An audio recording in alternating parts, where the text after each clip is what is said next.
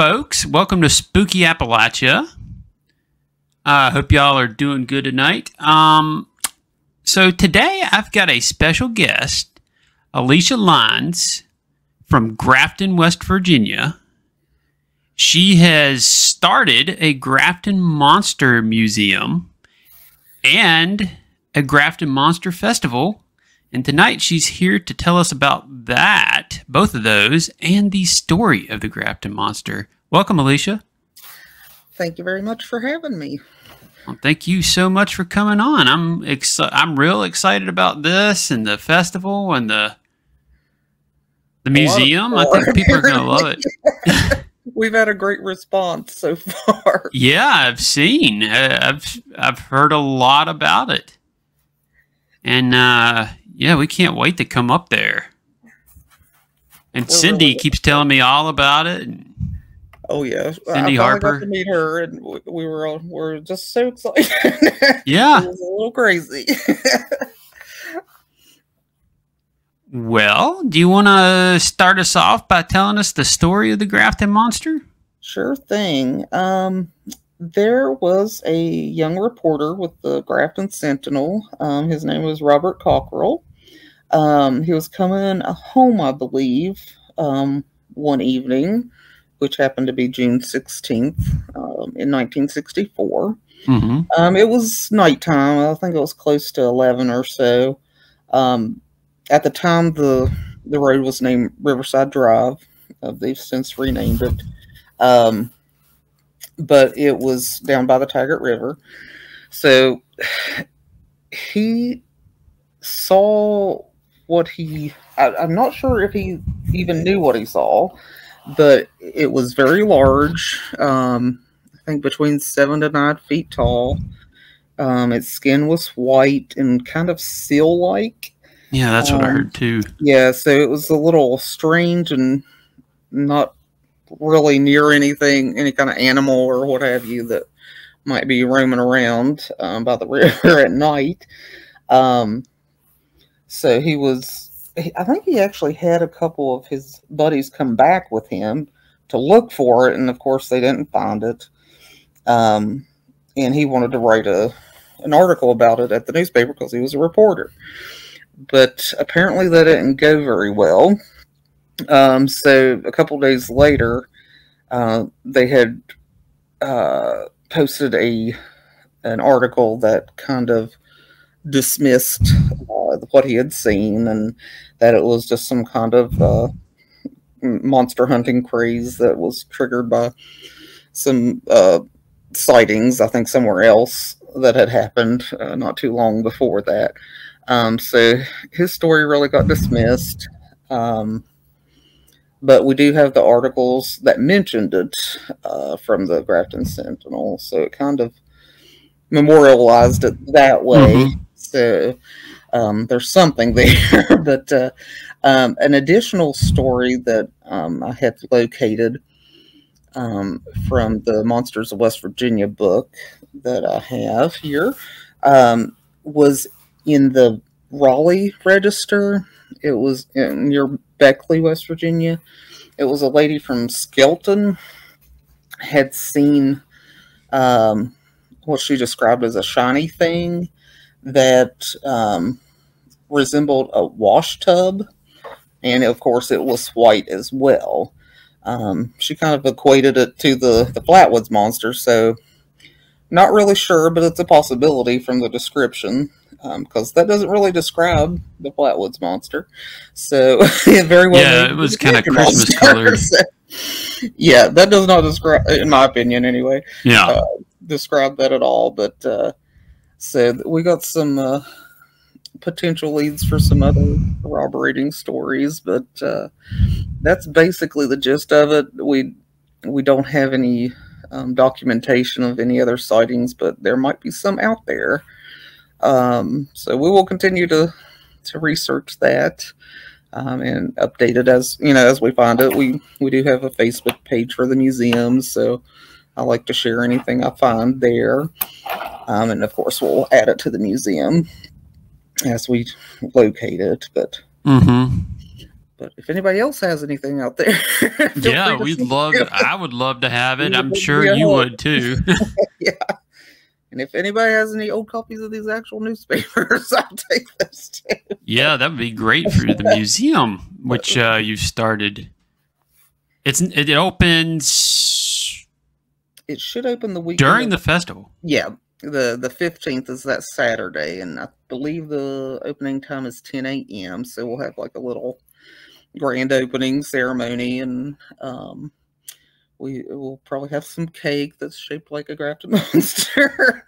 That'd be so cool. yeah, we've got somebody uh, going to uh, who has created their own Grafton monster cosplay costume, so uh, and they'll be there. So um, it should be a fun time and get to check out the the initial uh, setup of the museum. And we'll be there too. Exactly. Uh, me and my friend Donald. Yeah, I can't wait. yeah, we're really excited. A lot we don't have a a huge amount of locals uh, uh, excited about it, but we do have a good core group that uh, has been looking uh, to ex- uh, to take advantage of this uh, legend and uh, and get to enjoy it as a community. So You know, I, re- I remember thinking for a long time, I was like, you know, I wish Grafton had something Grafton monster related for me to come up there and see. hmm I, I, I think I thought that for years. Oh yeah, uh, we've we've had several people think about doing it, and it just hadn't really. I guess maybe the timing was bad, or hmm they just didn't. Uh, so I think a lot of people have been thinking about it for a long time. Um, and then uh, I was talking with one of my friends uh, about it, and we should do a festival. I was like, everybody else is having festivals. Yeah, yeah. we should have a festival too. And then that kind Even the Grass Man. I don't know. I mean, not the Grass Veggie Man got a festival. I was like, oh right, Veggie Man's getting one too. Yeah, yeah, yeah.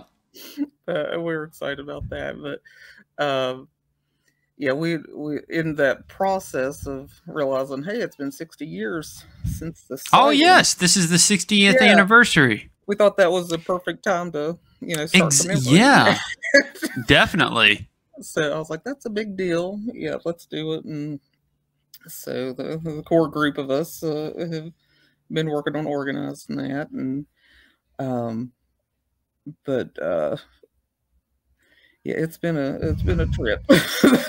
but uh, we have had some insight from some of the other museums, and Oh, they, they had mentioned that probably one out of three people ask, "Is there somewhere in Grafton to to visit the Grafton Monster?" Or you know, kind of see what that story is and visit there. But we didn't have anything, so, yeah, yeah.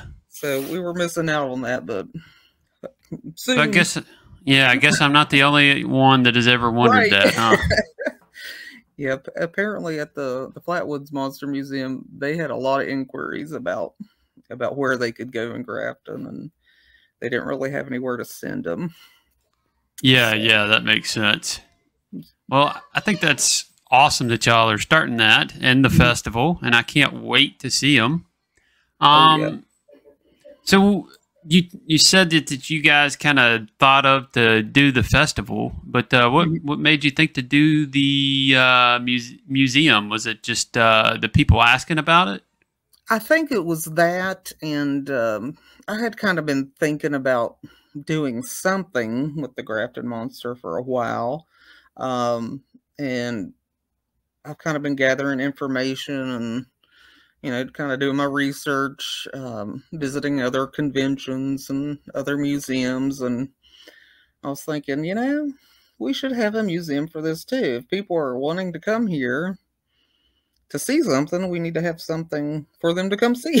so, um, I ju- and like every time we're either passing Sutton or going through Sutton, or um, I'm like, you know, they can have two two really cool museums to come visit at a time, and we could certainly have one. Yeah, definitely. Kind of I, I saw that opportunity there. I was like, and at the same time, I was working on opening my um, own bookstore here, and so I've got this huge building that I was like, you know, I think I can fit that in there. so, uh, it, it kind of falls under my uh, uh, curiosities part of my store where it's just basically weird things that I like. Um, I'll, I'll be selling in addition to books. And so the, the cryptid theme things kind of fall under that. And uh, I enjoy yeah, reading about them and researching them and finding stuff with my favorite cryptids on it and shopping and, you know, that sort of thing. So um, I thought that kind of fit perfectly into what I was already doing. Um, so it kind of seemed like a an easy transition there. To yeah. Oh, that's awesome! I cannot wait to see it. I can't wait for the festival. Father's Day weekend. Yep. I think it's going to be real. Uh, there's a lot of people going. Oh yeah, but I, I haven't checked it in a, week or so. Just, uh, uh, but it was like up to twenty two hundred, I think. Oh um, wow! Following the event. so, wow. Um. So, uh, if that many people show up, I don't know what we're going to do. we will happily uh, roll with the punches there. Hopefully, they're as calm as they are at the Mothman Festival. I don't. Right. I mean, I'm. It sounds like you've probably been. Everybody I know has been, but uh, yeah, I mean, I'm always shocked at how calm everybody is and cool, and nobody starts yeah. trouble. And yeah, we we we try to um, uh, allay the fears of uh, any uh, government officials that this, if we do get more than like the 500 that we're anticipating, um, it shouldn't be a problem. Uh, the it definitely has not been my experience at the other conventions to for rowdiness or you know anything like that. But um, we're all there because we love the the information and the themes and the lore and you know it just we're not there to cause trouble. That's always reassuring. Yeah, exactly. I, I I'm definitely looking forward to it. I know a lot of people are. Oh, and I'm sure they appreciate all that you're doing yeah, I've I've been really lucky. I've had a lot of people step up and contribute things, um, just so you know they want to be a part of it, and I appreciate all the help that I've had because I mean we've had our logo donated, and uh, we've had um, other supplies donated, and even like our our um, local governments are kind of helping us with some stuff um, that we couldn't really financially afford the first year. so we're all kind of coming to, together as a community, and that that's really nice to see. And I think it uh, we do plan on continuing this uh, festival, so hopefully it'll get bigger and better. Uh, hopefully my videos will help uh, oh, yes. get some word out about it. I'll keep sharing it out and telling people to check it out. Uh, maybe maybe it'll get huge. Yeah, we we have heard that uh, the festival's been discussed on um, like YouTube videos and things like you guys do as oh, well. Oh yeah, podcasts and like even a podcast in Canada was talking about, it, and we're like, oh what? really? now I've so, seen some people talking about it on Twitter. Yeah, I, I will say that I've I saw that and I was kind of surprised. Yeah, it's it's kind of amazing. Like we've really only been working on this for like two months, and it's oh wow, yeah, like I think the beginning of February maybe. Yeah, and it's about the time I heard about it. We've already got about forty or forty-five uh, vendors, um, I guess, committed. Uh, so we're still looking for vendors if anybody's interested. But um, oh, do you want to really mention any? Um, I saw some uh, special guests posted. Oh, yes. You've got a couple. We got some good speakers coming. Um, some are pretty local too, which is nice. Um, yeah, Cindy Harper is one of them. Yep.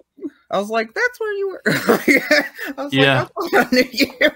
Uh, but uh, yeah, Cindy Harper's uh, lives in Grafton. She's gonna speak um, kind of during the closing ceremonies of the of the festival on Sunday.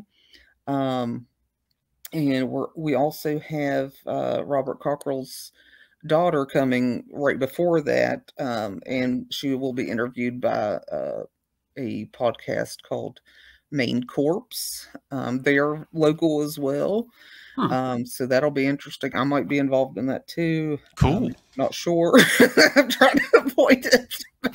Uh, but uh, I think you might want a couple, like a little bit of a panel there. But um, and then on Saturday, the day before all that, um, we have uh, Mark Muncy coming. Um, he's famous for some books uh, such as Eerie, Florida, Freaky Florida, Creepy Florida. Um, so he's coming up. Um, Les Odell has been, um, I think, he's all over the place Bigfoot- now. The Bigfoot Museum, I think. Yeah.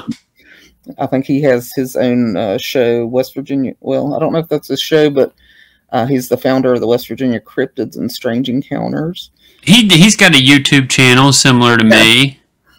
hmm So I think I think he had an episode about the Grafton Monster. Uh, I think I shared that on our um, our Facebook page. So Oh, cool. Um, we also got Tony Breeden coming.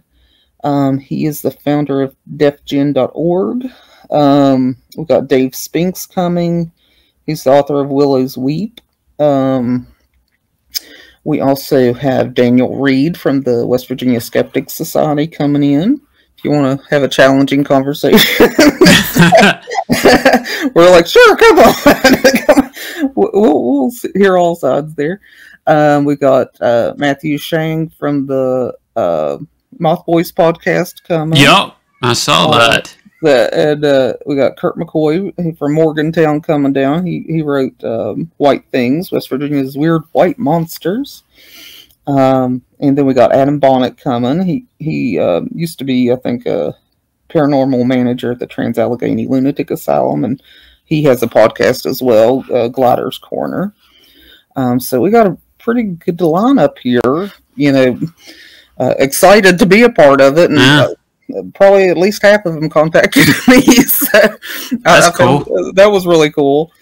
Um, oh, we also have a couple of the guys from the Mountain Monsters TV show coming. I saw that too. Yeah, so uh, I think they'll be having like a, uh, a table available most of the day. I don't think they'll be speaking or anything, but Yeah, um, I'll definitely try and find them. You can say we're coming too, but then they might say, "Who's that?" right, right. yeah, yeah. We'll I don't know. I don't know how famous the name Spooky Appalachia is. I, I don't know. Well, eventually, It's got a decent following. Yeah. I, I thought they were interesting, the videos I've watched. so. Oh, thank you. but, but I, I do like to um, learn more about the local legends Mhm. and things. Like, oh, I never heard about that. Or yeah, Yeah, yeah. That's the cool thing. That's that's what I decided. That's why I decided to start it. Mhm. And then everybody also has their own story, and Mhm. it's fun sharing those out with uh, that people send in, and going and visiting these places around the region and video on them. So Oh, I yeah. mean, I have a blast doing it. it it really reminds me of uh, places uh, like where I grew up, and Mhm. um, and it, it's like I wonder if that creepy place I knew about had a story here. You know, Everything seems to. you never know. but yeah, it's it's fun. Uh, I think we've got a lot of um, authors and artists and um, podcasts and uh, paranormal investigators and all like a whole wide range of uh, Yeah, people definitely. coming. So I think it'll be fun. Well, I can't wait.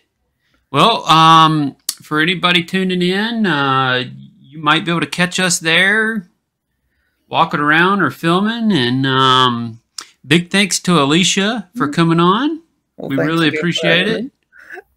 And uh, y'all have a good one, and uh, we'll catch you in the next one.